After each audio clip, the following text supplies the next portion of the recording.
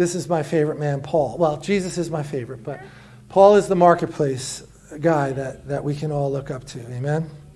So, did I get the right one here? Yeah, there it is. 8. Acts 19, verse 8. He, Paul, went into the synagogue and spoke how? Now, that was kind of an anti fragile thing to do, too, wasn't it?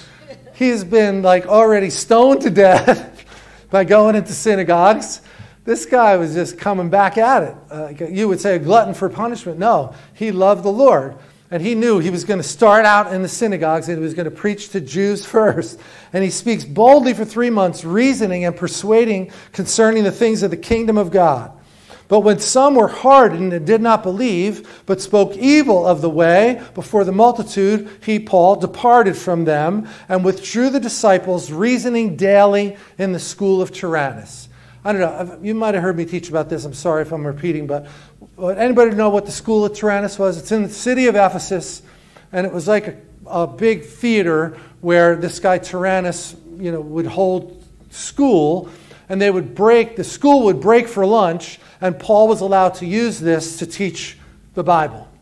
What was he doing in the morning? Making tents. Okay, so this, you know, this is where he was, they call it bivocational. He would work in the morning, he would teach in the afternoon at the school of Tyrannus, and then he would go back to work. All right, so that's a picture of a marketplace minister. Think about it for a minute, if you would, just engage with me here. What would be the logic of telling Paul, you know what, Paul? What if you quit making tents and just put full time in the ministry? Wouldn't you be more effective? What's your answer, church? Not necessarily. Why? He would be counting on other people's finances. But what if the people said, you know what, we, you know, we're willing to pay your salary? Yeah, see the anti fragile part? I get stronger by being with the lost. They're not defiling me. I'm helping lead some of them to the Lord, and I'm remembering what it's like to be like them. So I don't lose the vernacular, so I don't forget how it is. Because if I got to treat other people the way I'd want to be treated if I were them. And if I'm only with Christians all the time, I'm going to lose that connection to the lost. So we're never supposed to lose our connection to the lost. He didn't. He would be working with the lost in the morning and then go teach in the afternoon. We could argue more effectively because he had been with the lost. Ah, that's a stretch for some people, but you see if you want to go there. This continued for how long? Two years so that all who dwelt in Asia heard the word of the Lord Jesus, both Jews and Greeks. Now, God worked unusual miracles by the hands of Paul. Don't you find that interesting? Wouldn't you think all miracles are unusual? like, most people would be happy with a regular old miracle. But Paul worked unusual, I mean, God, not Paul. God worked unusual miracles by the hands of Paul, so that even handkerchiefs or aprons were brought from his body to the sick and the diseases left them, and the evil spirits went out of them. I'm going to camp there for a minute, okay? Because I don't know, how many of you have heard a message about handkerchiefs?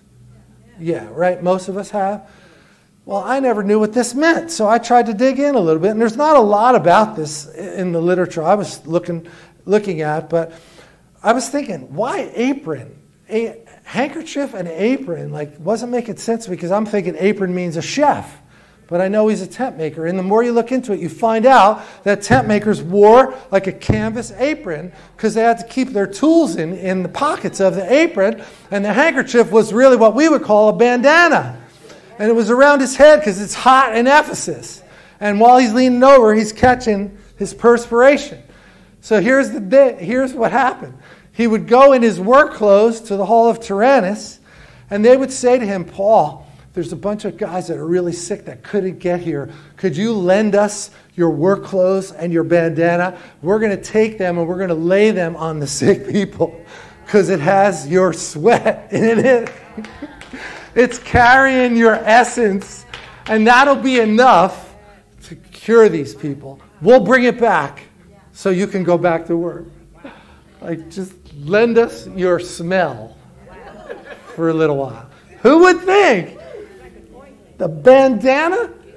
That's sweat rag, some people would call it. Yeah. Anointed. because it's what you were designed to do. Even though it's work, it could still be anointed. That's where He wants us to live. We saw this in first person with Heidi Baker. I said before I used Billy Graham and uh, Reinhard Bonnke, but when we were in Africa, we saw somebody operating in the full flower of what she was designed to be. Like you could picture God saying in the, in the womb, when those first two cells came together, we were watching somebody fully into what she was called to be. We were seeing miracles pretty regularly. Eh, you know, among people that would be considered the least of these, first world people like we would be here. She didn't care. It was sight to behold, I tell you. It was really something you'll never forget. But why can't I be that? You can. Why can't we all be? That's what we should be striving for. I would love it for my bandana to heal somebody someday. Only a couple more verses, okay? It says, Then some itinerant Jewish exorcists took it upon themselves to call the name of the Lord Jesus over those who had evil spirits, saying, We exorcise you by the Jesus whom Paul preaches. Also, there were seven sons of Sceva, a Jewish chief priest, who did so. And the evil spirit answered and said, Jesus I know, and Paul I know, but who are you? now remember, Paul had been operating for two years. He had built a beachhead of people who understood the operation of signs and wonders that were going on. And here are some other people that thought they could do it just by repeating the same words, but they didn't have the same essence. They, they hadn't sold their lives out the way Paul had. And they're in for a rude surprise, aren't they? In 16, then the man in whom the evil spirit was leaped on them, overpowered them, and prevailed against them. So they fled out of that house naked and wounded. This became known both to all Jews and Greeks dwelling in Ephesus, and fear fell on them all, and the name of the Lord Jesus was magnified. So, what was the fear? Of the Lord fear the Lord. Because if the name of the Lord Jesus is magnified, it's like, wow, if we're messing around, we better clean up our act because this God has power. And this guy, Paul, is operating in that power. And we know that because he's operating in it with us, the lost, out in the marketplace. I love this. The whole city changed. Many who had believed came confessing and telling their deeds.